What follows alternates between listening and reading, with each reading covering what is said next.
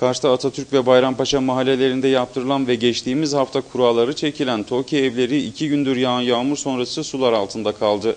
Yağmurun yağmasının ardından niyate duvarı ve bina duvarı arasında dolan yağmur suları daha sahiplerine teslim edilmeyen evlerin bodrumlarına doldu. Evlerini teslim almayan konut sahipleri yağan yağmurlarda bir metreye yakın su ile dolan binamız yağan kar ile acaba kaç metreye ulaşacak? Yağan yağmurlar için hiçbir şekilde su tahliye kanalının oluşturulmadığını belirten konut sahipleri evlerine taşınmadan daha birçok sorun ile karşı karşıya kaldıklarını ifade ederek yetkili ve ilgili kişilerden bu sorunun çözülmesi yolunda yardım istediler. Güney su tam oradaydı. Bak işaret olan yerdeydi.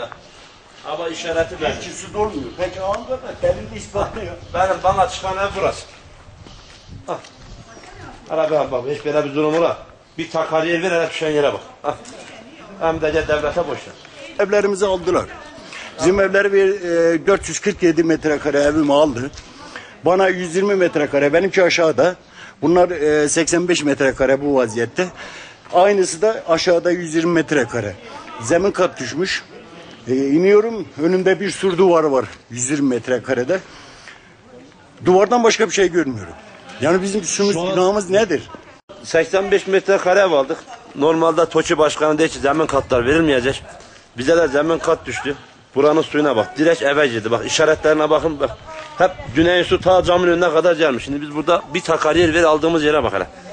TOÇİ başkanı diyor ki zemin katlar çıkmayacak. Ha zemin kat. Bundan sonra da biz anlamadık. Su doldu? Su doluyor. Ha, ortada her şey ortada. Bak. Hastası var adamın. Yani hastamız var. Zaten kanser hastası annemiz var. Burada gelip nasıl yaşayacak? Nasıl olacak? Ben anlamadım ki. Su içinde yaşlı bir kadın ya. Bu nasıl olacak? Ben anlamadım abim ya. Yağmur suyu, yağmur suyu. Akıntı yok. Oluk koymamışlar. Bir şey yok. Yani bilmiyorum anlamadım ha bu işten bir şey ya. Ta gazın saatine kadar su geliyor oraya. Şu an 15-20 dakikalık yağan yağmur. Yani bu sürekli yağsa ne olur bu? Sürekli yansa yani berbat yani bunun akıntısı falan yok. Bu alt katta e, hastamız var, raporumuz var elimizde. Şu an bu hasta burada nasıl olsun? Bu hasta nasıl? Ben tapulev evimi verdim. Yerimi verdim, arsamı verdim. Ben gelmişim zemin kata düşmüşüm. TOKİ çekilişte dedi ki zemin kat yok. E, Şu anda zemin kattayız biz. Nasıl olur bu? Kendi ağzından söyledi, kendi belasına düştü. İşte zemin katlar yok dedi. Zemin katları Suyu biz nasıl dedi. temizlediniz? Suyu şu anda sular işte temizlenmez bu. Bu su da olmaz. Dün tam e, içeriye vuruyordu. Camdan içeriye vuruyordu. Bugün zaten yerleri belli. Bu nasıl olacak yani? Buna bir yol yordan bulsunlar yani. Bu olmaz ki bu şekilde. Abi kullanılmamış yani faaliyete geçmemiş bir bina. E, Benim 3 yıldır yatan yatalı hastam var raporlu. Ben buradan nasıl indirim nasıl çıkarım? Böyle götür böyle gel yani bunu bir gün işte götür çıkar eşya değil ki çıkarasın bile ölende de veya taşına da çıkarsın. Yani bu böyle olur mu yani şimdi bu?